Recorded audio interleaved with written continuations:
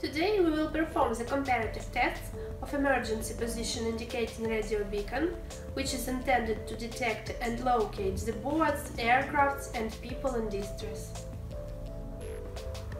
We have two EPIRBs.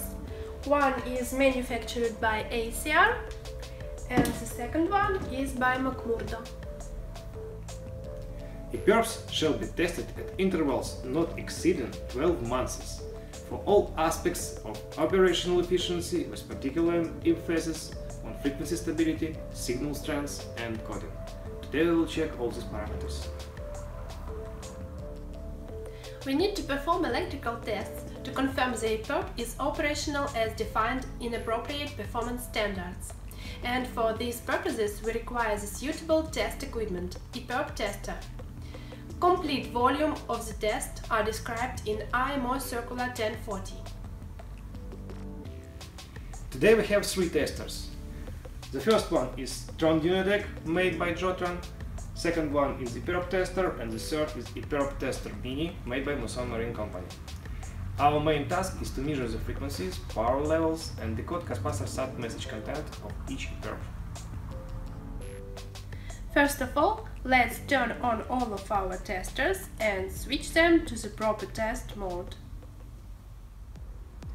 Tron Unidec requires connection to PC to provide measurements. Actually, we need a PC with COM port, so let's find one and connect it with the help of the proper cable. Now we need to run the software and Tron Unidec is ready to provide measurements. Now let's turn on the EPIRB tester of Musson Marine. To do so, we need to select the measure menu, the source and the proper frequency channel. It's ready for measurements. Now let's turn on EPIRB tester mini. To do so, I will go to menu, perform tests and push start new test button. Now it's ready for measurement. I take one of our EPIRBs and place it to recommended distance of 1 to 5 meters. Then I should turn it to test mode, which is strongly recommended for testing purposes. We see it's emitting the signal. Okay, let's check the results.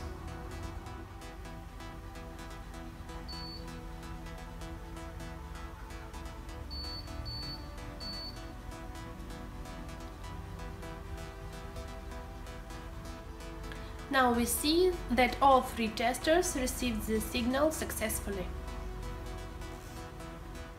We see full hex message, frequency in megahertz, power level in decibels, and we should press decode data button to see the full Cospas-Sarsat message content.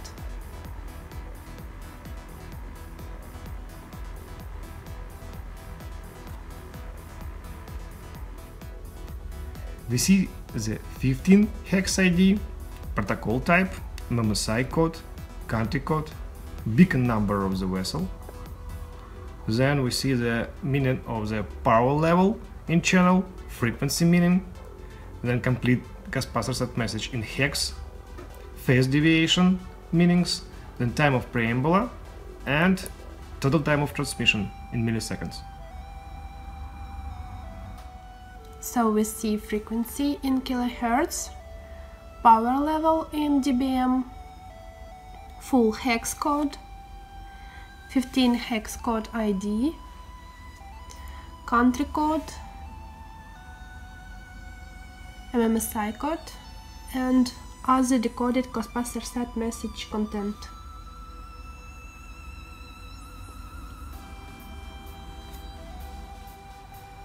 We have successfully tested Cospas-Sarsat channel. Now let's test homing signal on frequency 121.5 MHz. Unfortunately, this tool of Jotron doesn't allow us to measure homing signal on frequency 121.5 MHz, so we skip the test. Okay, Let's turn the testers to the proper test mode. Press measure menu, then select the source, then test channel 121. So let's go to menu, press perform tests, select test 121 MHz channel and start new test.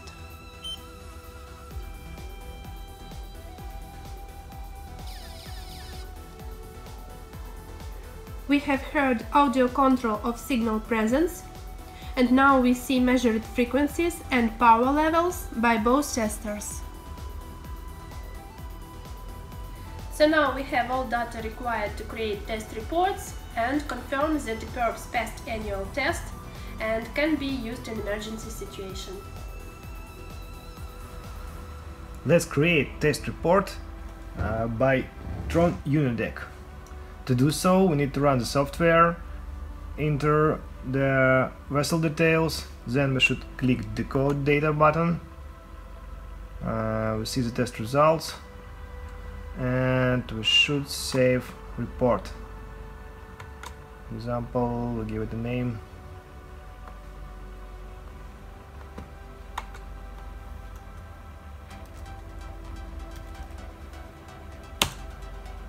Okay that's now created. So we can run the browser and see the results. Report is report is made in HTML format.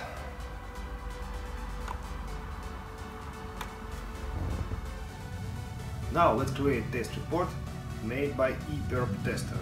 To do so we need a laptop with a beacon tester and common USB cable to connect to computer.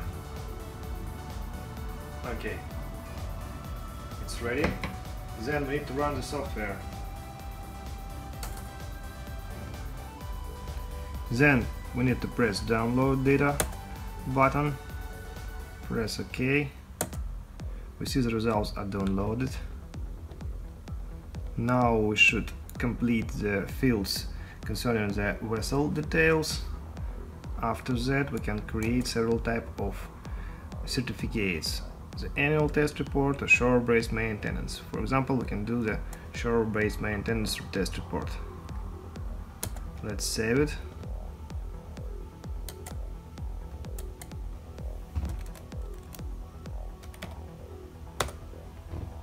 Okay let's check what we have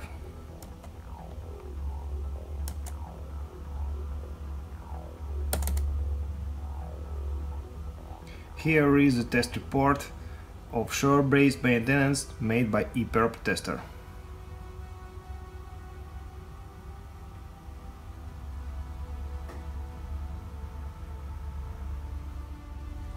So let's go to test results. Select the last measurement and just input vessel details and press annual report. It's ready! Here are the certificates generated by test tools. The annual test is passed. Don't forget to replace batteries and hydrostatic release units. All used testers are designed to perform the same tasks, ensure that EPIRB will operate in distress situation. But they are offered in different forms.